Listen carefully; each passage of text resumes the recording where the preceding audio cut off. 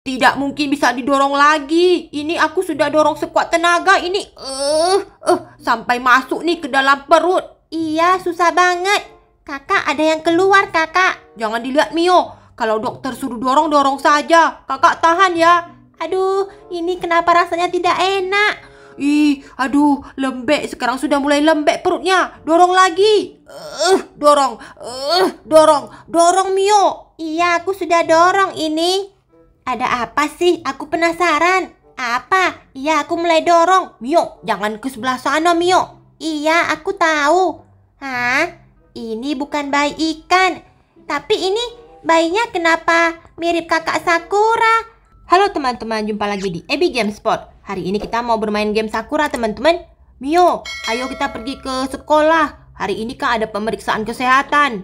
Kak Sakura, Iya Yuta, kamu pergi saja dulu dengan Mio. Kenapa nggak mau bareng-bareng kakak? Kalian pergi saja, nanti kakak menyusul. Ya sudah, kalau begitu kita duluan Mio, biar nanti antrinya nggak panjang.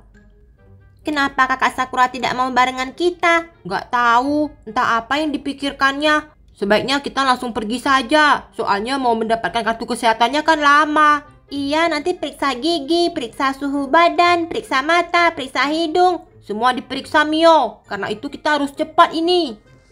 Di mana ruangannya kakak?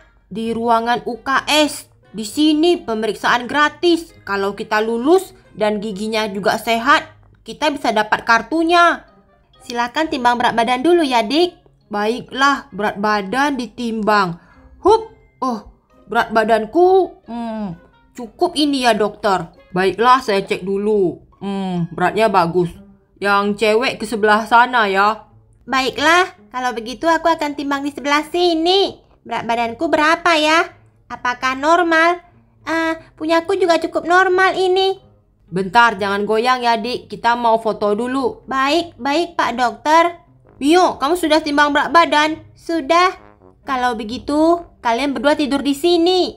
Eh, uh, Mio, kamu tidur di sebelah sana, aku di sebelah sini. Baiklah, Kakak. Hup. Kita akan cek suhu badan ya. Baik, suster. Ya, mau dicek suhu badan? Iya, pergi keranjang sebelah sana. Baiklah. Ha, habis ini apa lagi ya? Badanku hari ini tidak enak. Karena itu aku yakin kalau aku pergi cek pasti nanti aku nggak lulus. Sebaiknya aku minum saja vitamin Yuta. Mudah-mudahan kalau aku minum vitamin ini badanku bisa fit. Nanti pasti hasilnya bagus. Ini ada minumannya. Ku ambil saja. Setelah itu akan aku minum. Dan pasti pengecekanku berhasil. Aduh, kenapa aku sudah minum vitamin Yuta tambah pusing? Aneh sekali. Aku harus cepat-cepat pergi UKS. Pasti sudah giliran Yuta dan Mio. Sebentar lagi pasti giliranku. Aku sudah sampai. Mau menimbang berat badan? Iya, aku mau melakukan pengecekan. Langsung ketimbangan saja. Baiklah. Yuta dan Mio sudah sejauh mana? Naik ke timbangan ya, kita cek dulu berat badannya. Baiklah. Kenapa beratku berat sekali? Bisa sampai 100 kilo? Ah, tidak mungkin. Hmm, mungkin timbangannya rusak. Coba ke timbangan sebelah. Baiklah. Masa beratku 100 kilo? Um, ya ampun, kenapa 100 kilo dokter? Iya, aneh sekali. Kenapa beratmu berat sekali? Ini kenapa bisa jadi begini? Aku sudah selesai. Bagaimana dengan suhunya? Suhunya normal. Ah, bagus sekali. Pengecekanku sudah berhasil. Sekarang tinggal tunggu hasil si Mio. Kak Sakura cepat baring. Mau cek suhu badan. Baiklah. Tapi kenapa rasanya tidak enak banget? Ada yang aneh dengan kakak Sakura. Kenapa badannya menjadi tambah panjang? Ah, tambah panjang Yuta? Iya, iya kan suster. Tadi nggak sebesar ini. Kenapa tambah besar? Kakak ada minum sesuatu nggak? Nggak ada Yuta, nggak ada minum apa-apa. Aneh, masa sampai kepalanya kena ke ini, kepala ranjang. Pasti badannya tambah tinggi ya, aneh sekali. Pengecekan suhu badan. Hmm, kenapa ini si Sakura badannya besar sekali? Ini sampai satu ranjang tidak muat. Kenapa bisa ini? Dokter, badanku tidak enak. Loh, badan tidak enak kenapa datang ke sini? Ya, kalau begini, Pak dokter, kenapa kakakku? Kenapa badannya tambah besar? Tadi kan tidak sebesar ini. Ah, kalau begitu Kak Sakura, kamu harus cepat keluar. Kelihatannya badanmu mengalami keanehan. Iya, aduh, ah, tidak bisa turun. Aku kenapa menjadi tinggi? Bahkan kepalaku tidak muat nih. Cepat kakak pergi keluar. Iya Yuta, aku permisi. Tidak jadi ngecek badan. Aku harus cepat keluar. Takutnya badan ini tambah besar. Nanti sekolah malah nggak muat. Dokter, kami hasilnya bagaimana? Hasil kalian berdua bagus, tapi ada yang aneh. Kenapa kakakmu malah tidur di luar? Ah, kakak. Waduh, Kak Sakura. Ayo kita keluar, Mio. Apa yang terjadi? Ayo, Mio. Kita pergi lihat Kak Sakura kita kenapa. Loh, kenapa tidur di sini? Oh, oh. Itu kan perutnya. Tadi kan baik-baik saja. Kenapa sekarang tiba-tiba perutnya gembung begini? Yuta, tolongin. Ada apa, Kak Sakura? Kenapa kamu jadi jadi gendut begini? Uh, sebenarnya kalau aku jujur-jujuran, aku tadi pagi minum vitamin yang di mejamu. Itu bukan vitamin, kakak. Jadi itu apa? Itu minuman, aduh, itu bukan punyaku. Itu adalah untuk ikan mas. Itu minuman kesuburan untuk ikan masku, untuk ikan mas betina. Lah, kenapa diminum kakak Sakura? Iya Yuta, soalnya hari ini kan ada pemeriksaan. Aku takut nanti tidak lulus. Makanya aku kira itu vitamin ku minum. Ya ampun, kalau tidak enak badan kan tidak usah datang ke sini, Kakak. Kan bisa besok-besok. Kakak juga perlu kartunya, makanya buru-buru biar bisa ceknya sehat. Ya ampun, sekarang jadi begini. Eh, uh, cepat Mio, panggil dokternya keluar. Kakak ini ini hamil ya? Nggak tahu. Sakit nggak? Lumayan sakit Yuta. Ya ampun, itu satu botol Kak Sakura minum habis ya? Iya, kirain vitamin. Ya ampun, satu botol itu bisa untuk seribu ikanku. Kenapa malah diminum? Oh, jangan-jangan ini isinya ikan semua, Mio. Hah, kakak Sakura hamil anak ikan? Bisa jadi. Anak perempuan tadi itu tidak sempat keluar dari sini. Dia malah terbaring di halaman dan perutnya membuncit. Ayo semua, dokter dan juga suster, kita pergi lihat apa yang terjadi? Padahal tadi kan baik-baik saja. Suhu badannya belum diukur. Tapi kenapa badannya bisa sebesar ini? Iya dokter. Kenapa? Ada apa ini? Ah, uh, dokter, aku minta maaf. Aku, aku salah meminum vitamin. Vitamin apa yang kamu minum? Aku meminum vitamin ikan punya adikku. Vitamin ikan? Ya ampun, jangan-jangan ini perutnya penuh dengan ikan. Jadi bagaimana dokter? Sebaiknya kita tanganin saja. Harus kita buka dulu perutnya. Jangan, jangan dibuka. Aku takut nanti malah tercecer-cecer semuanya. Apanya yang tercecer? Aku tidak mau dibuka. Jangan-jangan ini sudah hamil hamil anak ikan. Adik-adiknya di mana? Hei, kalian. Kalau kakak kalian tidak diperiksa, takutnya ini tambah gede perutnya. Tapi ini kan dia salah minum. Dia minum vitamin ikan. Harusnya vitamin ikan itu satu botol untuk seribu ekor, tapi diminum sekaligus. Ya ampun, mana mana tidak jadi bengkak begini. Kalian bantuin. Baik dokter, tapi caranya bagaimana? Kita harus menekan perutnya. Anak ikan di dalam perutnya itu bisa keluar. Ah, dokter, jangan ditekan. Nanti perutnya bisa meletus. Iya, ini kan sudah besar seperti balon. Ini kan hamil anak ikan. Kalau anak ikan itu ya harus harus ditekan telur-telurnya. Mau bagaimana lagi? Aku akan tekan dari sini, kalian tekan dari sana. Ditekan? Kakak, kalau ditekan sakit enggak? Sakit sih sakit, tapi kalau enggak keluar lebih sakit, Yuta. Eh, uh, kira-kira apa yang keluar? Kalau begitu ya sudah, aku akan tekan dari sebelah sini. Ayo Mio, kita bantuin kakak Sakura. Bertahanlah Sakura, aku akan mulai mendorong. Yuta, Mio, Kalian di sebelah sana dorong ya. Jangan kuat-kuat Yuta Mio. Iya kakak, kami tidak akan kuat-kuat. Dorong Mio. Iya sudah dorong ini. Uh, uh. Sudah ada yang keluar belum suster? Belum ada. Ih, ih, kakak ini seperti pencet ikan koi kan? Iya, harus pencet seperti ikan koi. Pasti ada bayi ikan di dalam perut ini. Mungkin sampai ribuan. Ih, kuat sekali. Rasanya kencang. Kakak, tahan sedikit. Kami akan dorong lagi. Ih, ih. Aduh Mio, kamu kelihatannya itu sudah terlalu kuat. Dorong lebih kencang Yuta. Dorong lebih kencang. Tunggu, tunggu dokter. Kenapa? Ada apa? Ini. Ya ampun, sudah keluar. ini bukan bayi ikan, tapi ini bayinya mirip Sakura. Ah, dokter, kenapa? Tidak, tidak, jangan berhenti. Tidak ada apa-apa. Kenapa, dokter? Tidak, tidak ada apa-apa. Ini masih kencang. Yuta, dorong lagi. Tidak mungkin bisa didorong lagi. Ini aku sudah dorong sekuat tenaga. Ini eh uh, uh, sampai masuk nih ke dalam perut. Iya, susah banget. Kakak ada yang keluar, Kakak. Jangan dilihat Mio. Kalau dokter suruh dorong, dorong saja. Kakak tahan ya. Aduh, ini kenapa rasanya tidak enak? Ih, aduh, lembek. Sekarang sudah mulai lembek perutnya. Dorong lagi. Uh, dorong, uh, dorong, dorong Mio. Iya, aku sudah dorong ini. Yuta Mio, dorongannya jangan cuma satu tempat. Uh, dorong lagi.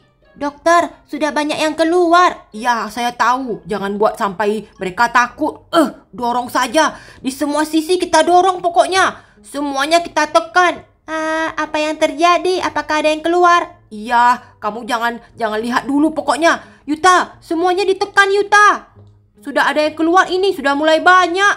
Eh, uh, eh, uh, uh, keras sekali. Kalau tidak dipaksakan keluar, ini bisa tambah bengkak. Nanti isinya penuh dengan air. Ada apa sih? Aku penasaran. Apa? Iya, aku mulai dorong. Mio, jangan ke sebelah sana, Mio. Iya, aku tahu. Hah? Ini bukan bayi ikan. Tapi ini bayinya kenapa mirip kakak Sakura? Hah? Apa sih? Kalau ini kakak Sakura, berarti aku jadi tante. Kakak, kenapa? Bayinya bukan ikan, tapi bayinya mirip kakak Sakura. Kalau gitu dorong lagi. Iya, i, i, i, i. Aku jadi tante. Kenapa bisa bisa lucu sekali? Akhirnya, ah, ini sudah mulai melunak. Perutnya sudah seperti trampolin. Ada apa, dokter? Apa yang keluar? Apakah kamu sudah boleh mengatakan kepadaku? Hmm, kamu tenang dulu ya. Jangan banyak bergerak dulu. Berapa ini semuanya? Pak dokter, itu bukan bayi ikan, tapi bayinya mirip kakak Sakura. Iya, selnya ini menduplikat. Sudah, tidak perlu tekan lagi. Sudah tidak perlu tekan lagi ya Pak dokter. Ya, sudah tidak perlu. Yuta, apa yang terjadi Yuta? Kakak, itu bukan bayi ikan, tapi itu selnya menduplikat mirip kakak Sakura. Tapi bayinya kecil seperti ikan. Hah? Bayinya seperti aku? Iya, cuman dia mirip ikan mirip ikan koi, warna-warni. Ih, kakak, itu itu bayinya kakak Sakura. Kita sekarang menjadi om dan tante. Hah? Aku menjadi oh, om? Aduh, kemarin kemarin ada bayi bayi bayi iblis. Kemudian uh, bayi ibu Iyo. Sekarang ini bayi ikan kakak Sakura. Tapi lucu sekali. Hai, aku adalah tante kalian. Karena aku adik dari kakak Sakura. Kalau kalian bayinya, berarti aku tante kalian. Kiu kiu kiu kiu kiu. Aneh, suaranya kenapa seperti ikan? Bukan ikan, itu seperti burung. Kiu kiu kiu kiu kiu. Enggak, itu seperti ikan. Kalau begitu, kita kasih dulu Sakuranya lihat. Di mana bayinya, dokter? Ini, kamu jangan kaget ya. Di mana? Ini. Ya ampun, Kenapa bayinya banyak sekali? Iya, karena kamu kan meminum vitamin ikan. Wah, ini mirip sekali denganku. Tapi ini menyerupai ikan ikan koi. Mereka beraneka ragam warnanya. Kamu pasti sudah minum vitamin ikan koi. Makanya kamu jadi lahir bayi-bayi ikan yang warna-warni. Cuman selnya menduplikat mirip kamu Sakura. Hah, bayiku? Nah, sebentar lagi ini perutnya bakalan mengempis kalau aku pegang sudah lumayan lunak. Kamu tidak mengalami sakit lagi, bukan? Tidak begitu sakit lagi, dokter. Bayi-bayi ini harusnya diletakkan di air saja ya. Diletakkan di air? Iya, minta Yuta bawa saja ke kolam berenang karena ini sejenis ikan. Tapi itu kan mirip denganku. Hmm, memang mirip sih. Ya sudah, kamu istirahat dulu. Ah, baiklah dokter. Eh, bawa mereka semuanya. Iya Yuta, mereka pasti kekeringan. Bawa saja ke kolam berenang. Ah, segini banyak mau gimana bawanya? Kak Sakura, kamu sudah baik kan? Sudah Mio, perutnya langsung mengempis. Mungkin vitaminnya sudah keluar menjadi ikan. Jadi badanku sudah mulai mengempis. Cuman kakak belum seukuran kami, belum ukuran normal. Aku senang sekali, banyak sekali ponakanku. Mio, ini bukan ponakan. Ini sebenarnya ini ini vitamin ikan, Mio. Cuman dia menduplikat sel Kak Sakura. Tapi bagaimanapun aku senang. Hai, aku adalah tante kalian. Panggil aku Tante Mio. Ciu ciu ciu. Tuh, lihat dia nggak bisa ngomong, cuma bisa cium-cium saja Mio. Ya sudah, cepat dibawa ke kolam berenang. Takutnya mereka nanti kekeringan. Mereka kan sejenis ikan. Iya, Yuta, cepat buruan Yuta. Baiklah, Mio kamu tunggu di sini. Ah, mereka membawaku, Kakak. Aduh, kenapa bisa? Kecil banget ya. Mau dibawa ke kolam ikan, kolam berenang. Ah, ya udah, cepat ikutin aku. Bayi-bayi ikan itu bisa nggak naik tangga? Aku rasa bisa. Cepetan ke sini. Di sini ada kolam berenang. Ini adalah tempat kalian. Kalau tidak dibawa ke tempat kolam ini, bisa kekeringan mereka. Cepetan ke sini, masuk ke kolam. Oh, ternyata ikan-ikannya bisa bisa menurut. Ciu, ciu, ciu. Kamu sudah kembali ke wujud semulamu. Kalau begitu, ayo kita pergi lihat bayi ikannya. Nah, semua sudah masuk kan? Ikutin aku ya. Ikutin aku. Masuk. Nah, cepat. Wah, mereka bisa berenang. Aduh, bayi-bayi ikannya lucu banget. Uh, kalau tidak, nanti mereka malah kekeringan. Kalau begitu, kutemani saja deh ponakan-ponakanku berenang dulu. Kakak Yuta, bagaimana? Ada ini Mio. Wah, mereka benar-benar cantik sekali. Iya, itu kan mirip kakak. Cuman mereka sebenarnya ikan. Mereka mengkopi bentuk kakak Sakura. Oh, kak, lihat-lihat dia sudah bisa bisa sampai ke dasar. Kakak, kita langsung menyelam saja yuk. Wah, ikan-ikannya lucu banget. Ih, hihi, aku mau menyelam. Hai, aku tante kalian. Wah, banyak banget. Aku senang. Aku senang banget ini. Bayi ikan yang mirip kakak Sakura. Aneh sekali. Kenapa malah ada bayi ikan yang mirip kakak Sakura? Tapi nggak apa-apa deh. Oke teman-teman, terima kasih telah menonton Abby Game Spot. Terus ikuti video Abby Game Spot selanjutnya teman-teman. See you next time and bye-bye guys. Uh, mereka warna-warni. Cantik banget. Iya, tapi pitanya semua warna hijau. Mereka semua kan menduplikat sel kakak. Cuman warna-warninya itu memang bagus banget. Ih, lucu, menggemaskan. Mereka tidak pandai ngomong ya. Masih bayi Yuta, mana pandai ngomong. Oh iya juga, jangan-jangan nanti malah menjadi seperti manusia.